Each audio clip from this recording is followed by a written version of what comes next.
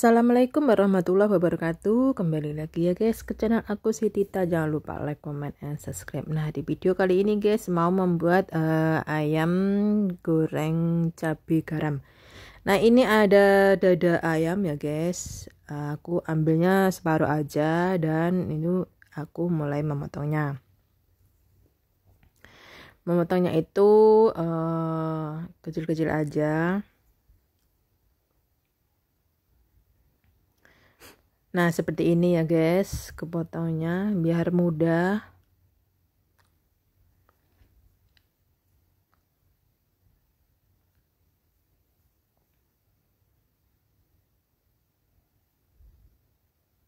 Itu memotongnya sebenarnya uh, tangan kanan ya guys.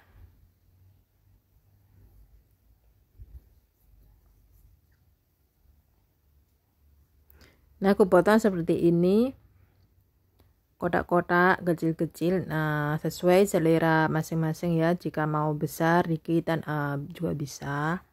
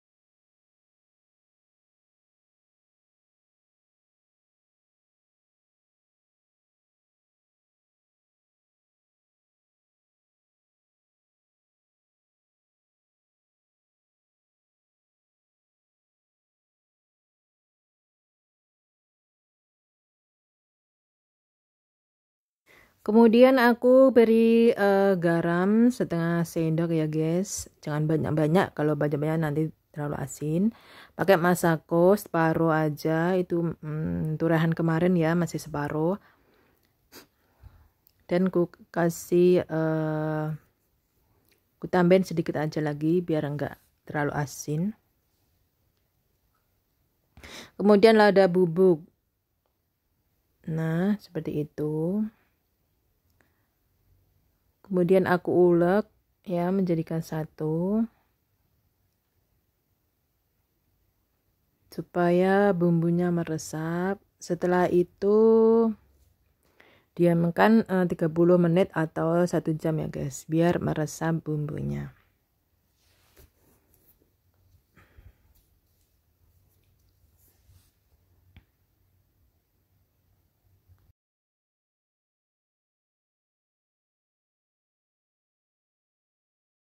Kemudian aku siapkan daun bawang, cabai, dan bawang putih.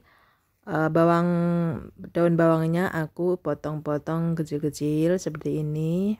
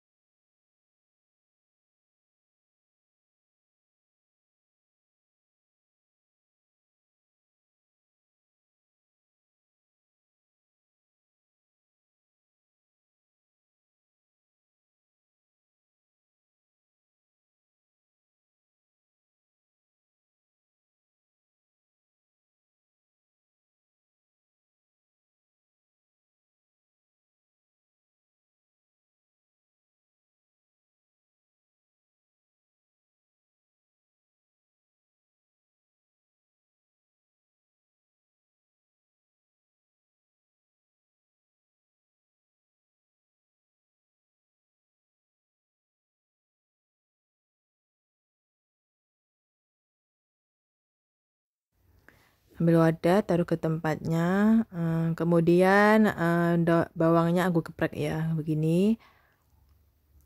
Aku cincang kecil-kecil. Aku ambil tiga siung aja dan cabenya juga tiga. Aku nggak ingin terlalu pedas karena uh, lambung aku nggak mampu ya guys. Nah seperti ini.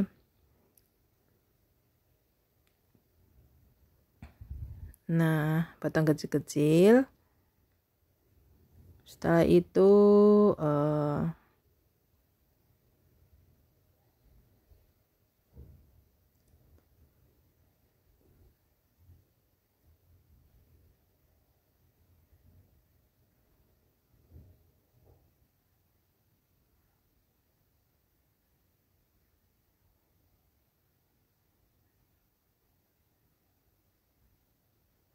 kemudian aku potong kecil-kecil juga ini cabenya. Itu cabai sini itu pedas banget ya guys. Aku nggak berani banyak-banyak karena sakit lambung. Nah seperti ini potong kecil-kecil aja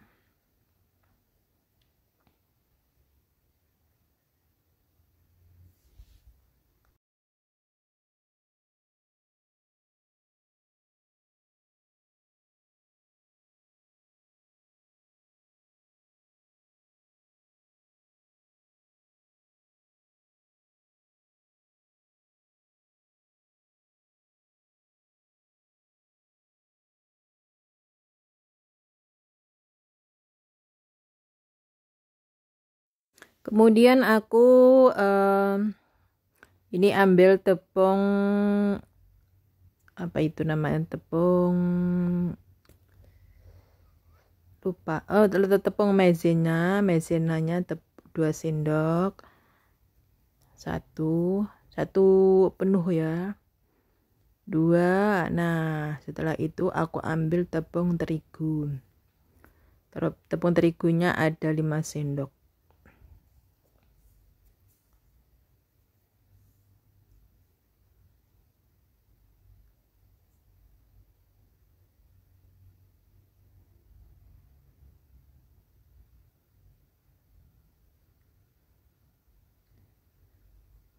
kemudian aku taruh garam lagi setengah sendok kecil ya seperti ini. Jangan banyak-banyak karena terlalu asin. Dan masako tadi e, masih ku ambil sedikit aja nggak nggak nggak terlalu banyak. Dan lada bubuk. Setelah itu aduk sampai merata nah setelah itu aku ambil air ya guys. Ambil air secukupnya jangan terlalu encer dan jangan terlalu kental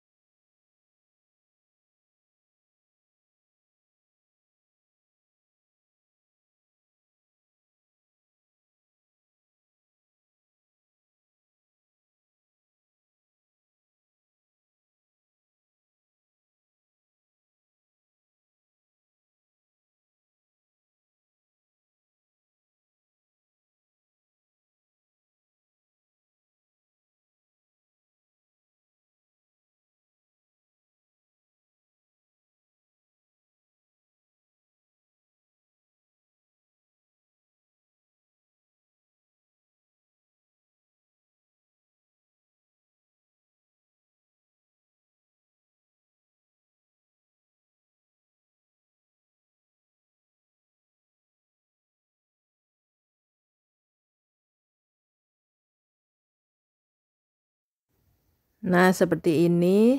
Uh, kemudian uh, ayamnya dimasukkan jadi satu. Aduk sampai uh, tepungnya merata.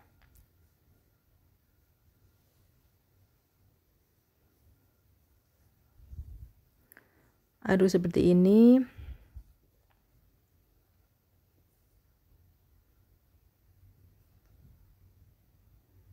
Nah.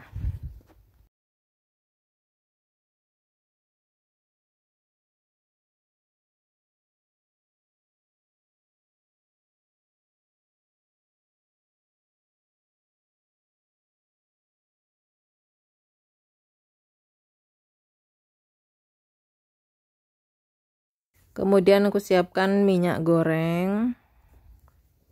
Nah itu sudah mendidih aku masukkan satu persatu aku tidak memakai minyak banyak ya guys karena uh, di Taiwan itu enggak enggak suka minyak banyak-banyak. Aku sedikit aja biar uh, enggak membuang terlalu banyak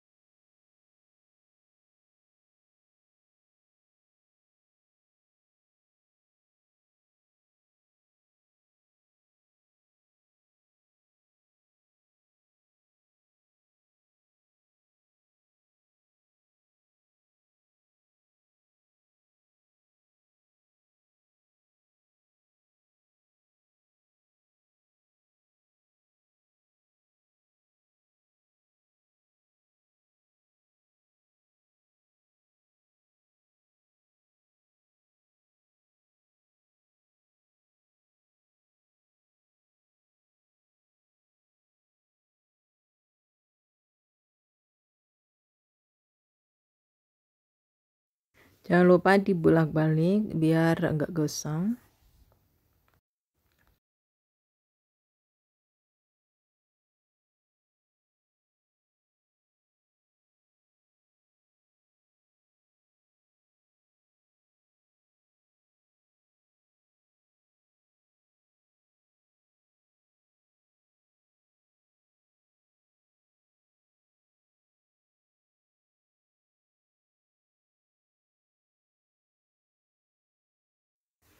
Nah, seperti ini sudah agak kecoklatan, kita bisa angkat dan kita bisa tiriskan. Nah, seperti ini.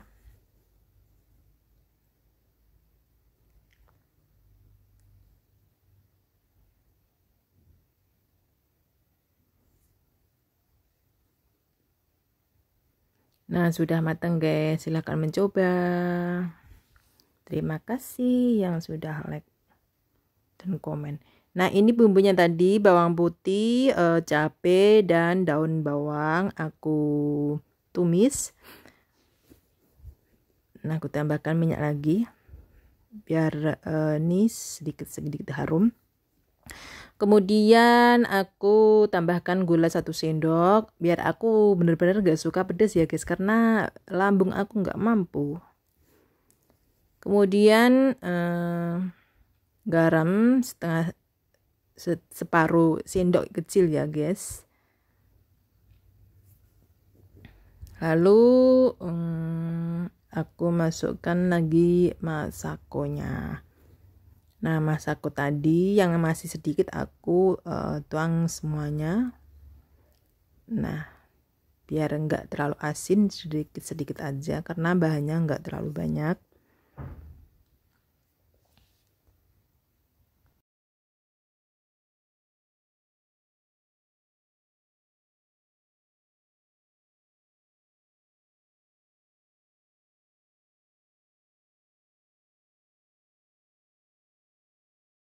Kemudian aku masukkan uh, ayamnya tadi, lalu aku aduk-aduk supaya merata bumbunya.